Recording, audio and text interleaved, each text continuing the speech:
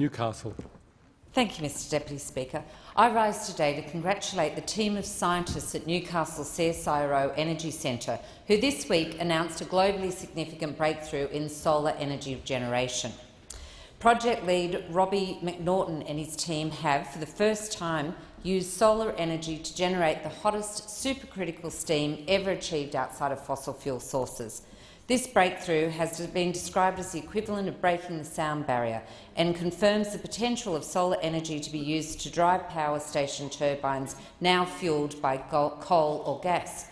This advance is a game-changer in energy generation and demonstrates the potential for power plants of the future to use the free, zero-emission energy of the sun to achieve the same result as fossil fuels.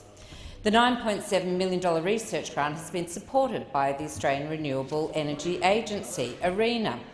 This development is a clear reminder of the expertise of Australian scientists and the potential for Australia to be lead in renewable energy.